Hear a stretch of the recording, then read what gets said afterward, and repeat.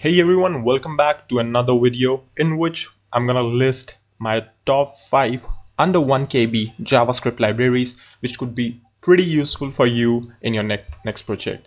And since these are so lightweight, you can pretty much just throw them in your project without worrying a lot. So let's just take a look what they are. Starting off with Wade.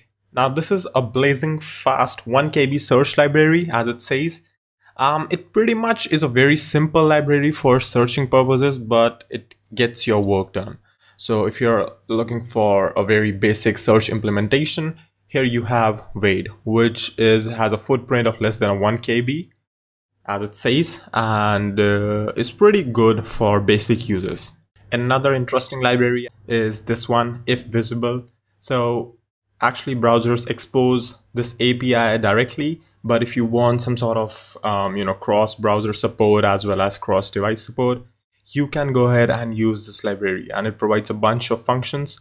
Like you can check if the user is right now on your page that is on your tab. You can perform certain actions. If uh, user hides it like on blur you can have callback functions on focus. You can basically if you have timers and stuff on your page you can make use of this library to pause those timers if the user navigates away if the user is um, coming back to the page again, you can resume that, all that good stuff. So pretty dope if you have a website like that, go check that out. Pill is another great library I find out and it makes your dynamic content, it makes your static websites feel like dynamic. How? Well, it converts your anchor links and fetches that remote HTML code and replaces it in your DOM instead of like typical browser redirect so it's pretty simple to use. You could uh, actually check out a demo as well i think. There should be a demo somewhere right here right? So you can go ahead check this out. This is just a static website but you see that with under 1 kb of javascript you have actually converted it into a dynamic website which does not reload obviously. So yeah pretty dope if you ask me. Just check it out if you want to um, add basic dynamic functionality or to your static website. Another teeny tiny library, but could be very useful to some of you static site builders is this top bar. So it basically don't go to its commit history. It looks quite old, but the thing is it never needed to be updated. So that was the thing, right? So you see that you get this nice little top bar, um, which indicates how uh, what percentage of your site is loaded, right?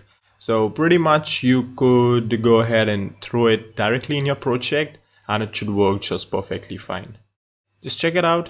It's pretty awesome as well. Finally, there this, there's this redom library, which is a very small JavaScript library for creating user interfaces.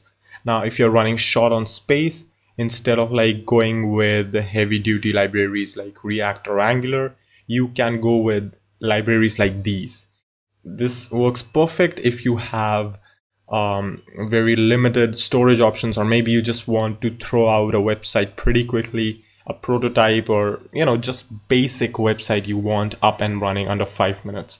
With you can do with that with react too but you get all that toolkit and you have to set it up. With these kind of libraries you just have to throw in a script tag and you're good to go.